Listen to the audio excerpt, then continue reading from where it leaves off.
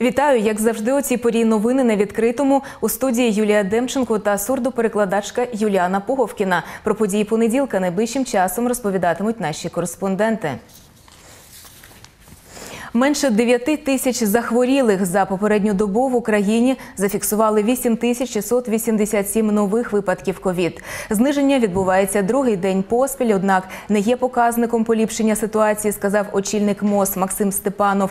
Щотижня зростає число інфікованих та ушпиталених на кілька тисяч. З початку пандемії кількість заражених перевищила 460 тисяч. Тому МОЗ наполягає на запровадженні в Україні карантину вихідного дня.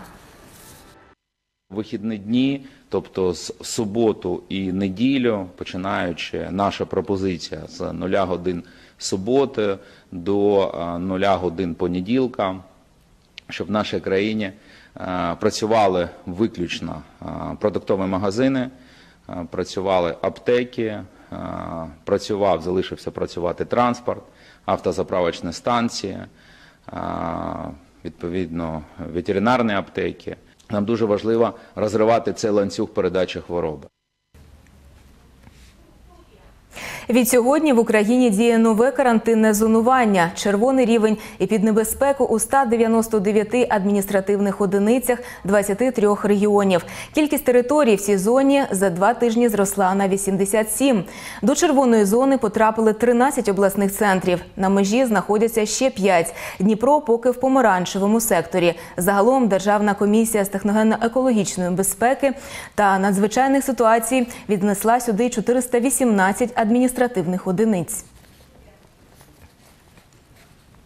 На Дніпропетровщині ковід поширюється не так швидко, як в інших регіонах. За минулу добу захворіли 217 людей. Однак ситуація все одно складна. Зокрема, від сьогодні до червоної епідемічної зони потрапив Царичанський район. Таке рішення ухвалили Державна та обласна комісії з техногенно-екологічної безпеки та надзвичайних ситуацій. До цього призвело стрімке зростання кількості хворих на коронавірус. У Царичанському районі діятимуть додаткові обмеження. Від сьогодні тут закриті заклади харчування, магазини непродовольчих товарів, не працюватимуть школи та дитсадки. Єдине, що буде продовжувати свою роботу, це е, продуктові магазини, аптеки, банки, е, відділення пошти а також е, міжрайонний і міжобласний громадський транспорт, щоб нашим мешканцям все-таки було можливо доїжджати до великих міст нашої області. На вулиці за відсутність маски не штрафуватимуть. Про це повідомив міністр юстиції України Денис Малюська. Протокол складатимуть лише на тих, хто без маски у приміщенні або громадському транспорті. Штраф виписуватимуть не лише поліцейські, а й представники Держпродспоживслужби та органів місцевого самоврядування. Такий штраф становитиме від 170 до 255 гривень.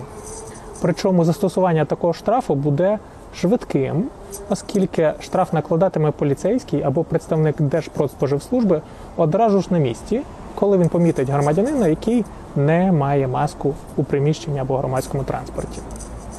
Такі штрафи не застосовуватимуться до неповнолітніх, тим, кому немає 18 років, або до тих, хто не носить маску на вулиці.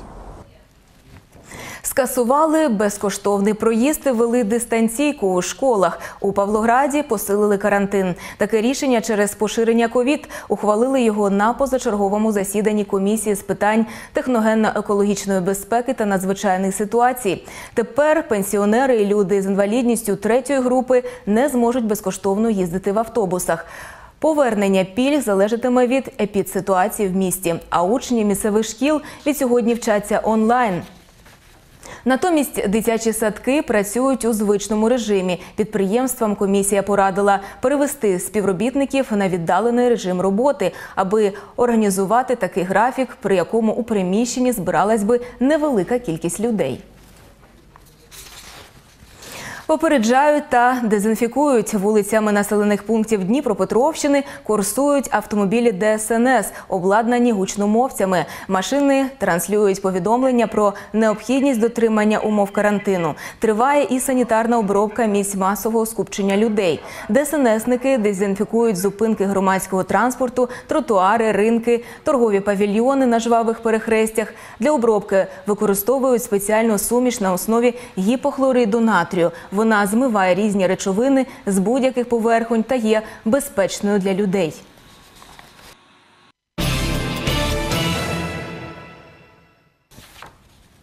Допомога пенсіонерам, людям з інвалідністю, малозабезпеченим та особливим дітям.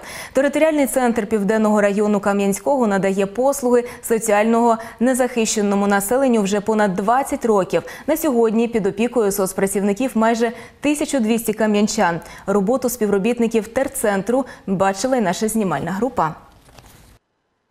Пані Вікторія працює у терцентрі південного району Кам'янського вже 16 років. За цей час під її опікою побували десятки літніх людей. Жінка розповідає, кожного підопічного відвідує двічі на тиждень. Купує їм продукти та ліки, допомагає з прибиранням житла, вирішує нагальні питання в держустановах. Сьогодні однією з перших пані Вікторія навідала Любов Андріївну. Ну, Андріївна, здравствуйте. Здравствуйте. Я принесла прин- ті продукти, які ви мені заказували.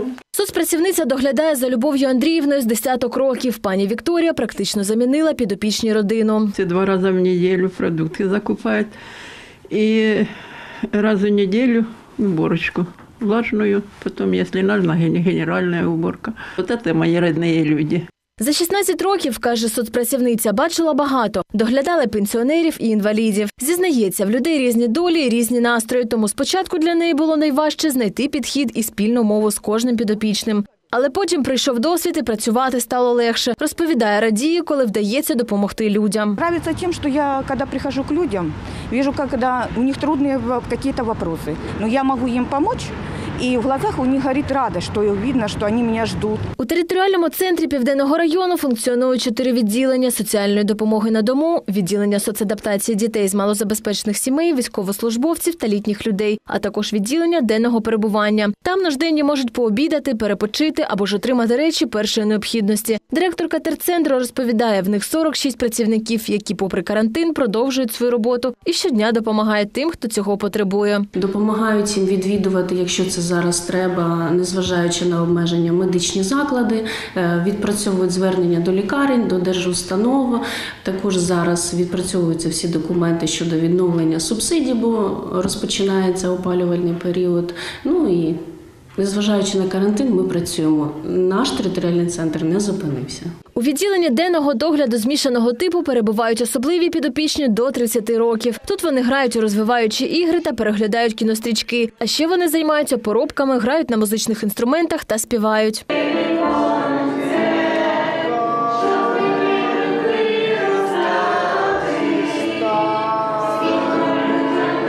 Під опікою соціальних працівників південного терцентру Кам'янського 1159 громадян. 26 – це діти з особливими вадами розвитку.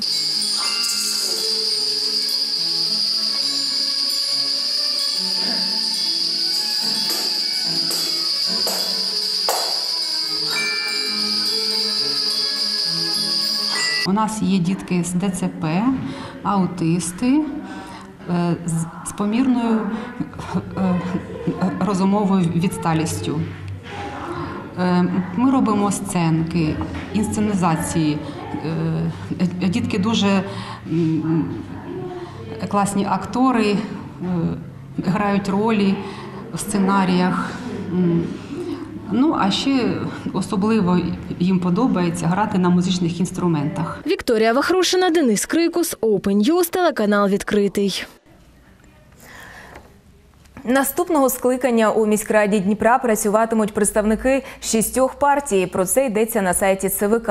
П'ятивідсотковий бар'єр подолали шість політичних сил. Пропозиція ОПЗЖ, Слуга народу, Громадська сила, Європейська солідарність і Українська перспектива. Підрахували голоси виборців і в Дніпропетровській обласній виборчій комісії. До складу облради увійдуть сім політсил, ті ж самі, що й до міської ради, плюс батьківщина.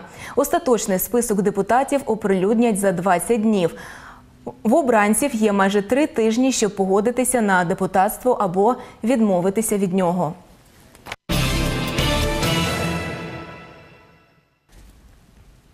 Двох убив, вісьмох поранив. У Кривому Розі невідомий чоловік кидався з ножем на перехожих. Від численних ножових поранень двоє людей загинули на місці. Ще восьмеро травмовано. Серед них і восьмирічний хлопчик. Нападника затримали вже через 20 хвилин, коли він погрожував наступній жертві. За інформацією поліції, зловмисник 37-річний криворожанин. Йому загрожує від 10 до 15 років тюрми. Постраждалі у міській лікарні. У Кривому Розі 9 листопада оголошено днем жалоби. Четверо из них госпитализированы в больницу, двое в отделение стоматологии и двое в отделение травматологии. А, Двое пошли лечиться амбулаторно. Обработка ран, ушивание. Все проведено вчера. Вчера они все обследованы, осмотрены. А, Сейчас они э, получили перевязки, лечение и динамическое обследование. Просто за ними наблюдаем. Було вжито заходів для затримання даної особи. Е, Також було е, під час затримання особа поводила себе неадекватно, е, чинила супротив співробітникам поліції.